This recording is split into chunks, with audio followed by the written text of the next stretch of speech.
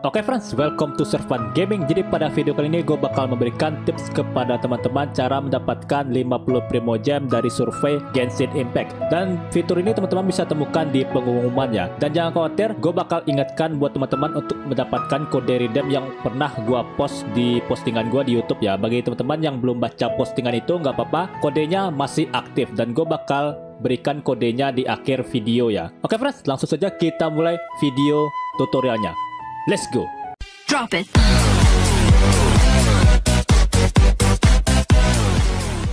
Yang pertama teman-teman masuk ke logo Paimon ini terlebih dahulu, lalu pilih pengumuman, lalu pilih isi survei ini ya. Pilih tekan selesaikan survei khusus. Seperti biasa mengisi survei dari Mihoyo ya. Dan di akun utama gue udah pernah mengisi survei ini, jadi gue nggak bakal perlihatkan yang akun utama gue. Jadi ini akun kedua yang jarang gue mainkan ya. Dan harus gue akui gue nggak terlalu te- melihat eh, survei-survei ini ya karena gue tinggal skip, skip, skip kalau bisa sih.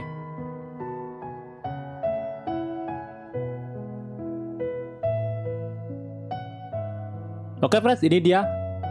Dan gue bakal isi survei yang eh, komentar ya. Pada komentar ini gue rasa kita perlu serius untuk mengisi survei ini ya. Eh, adanya sistem perubah substat artefak. Oke, adanya sistem perubah substat artefak dan ini gue rasa sangat membantu game Genshin Impact jika ada sistem ini ya.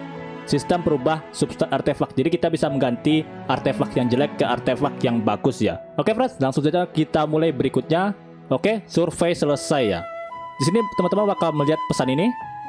Oke, ini dia survei hadiah ya. Survei hadiah.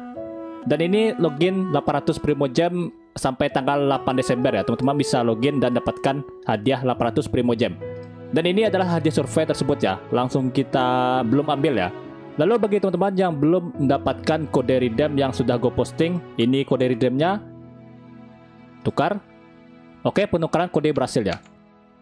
Oke friends, ini dia 60 Primo Gem, totalnya jadi 110 Primo Gem bagi teman-teman yang belum menukarkan kode ya.